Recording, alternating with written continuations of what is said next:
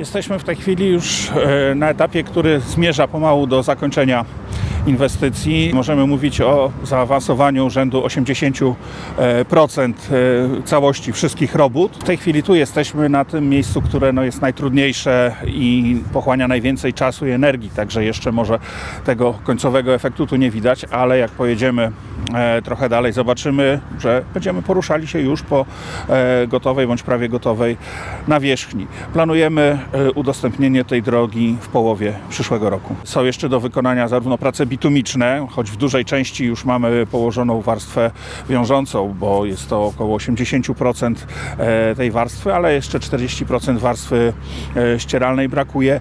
Tutaj jesteśmy jeszcze tak naprawdę na etapie robót ziemnych, robót wzmocnieniowych, więc e, do wykonania jeszcze wszystkie prace konstrukcyjne tutaj pozostały. Na ukończeniu są roboty mostowe, gdzie całe konstrukcje stoją, natomiast albo wykonywane są tam prace nawierzchniowe, albo montaż tych elementów wykończeniowych, barier. Jest to odcinek o długości 16 km, z czego 13 km jest to budowa drogi ekspresowej S16.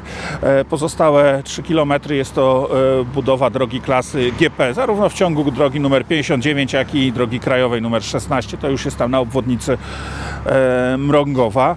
Mamy tutaj 18 obiektów mostowych, z których większość jest już w fazie wykończeniowej. Tutaj Bronie Circuit jest opóźnienie w terminie z uwagi na to, iż wymiany gruntu, które były przewidziane na 8-9 metrów, w tej chwili są na 13 metrów głęboko. Więc jest to znacznie większa kubatura robót i znacznie większe utrudnienie, jeśli chodzi o samą technikę prowadzenia prac. To wymagało dodatkowych wymian gruntu, dodatkowego wzmocnienia opalami, no i summa summarum to spowodowało, że ten termin prac tutaj musi ulec przesunięciu. Rozpoznanie geologiczne podłoża e, wskazywało, że no, miąższość tych gruntów e, słabonośnych będzie mniejsza niż faktycznie się okazało. Czy to meandry rzeki Krutyni, która tutaj przez lata płynęła e, i jej zmiana jej kory, przebiegu koryta spowodowała, że te wymiany są w większym zakresie konieczne do wykonania.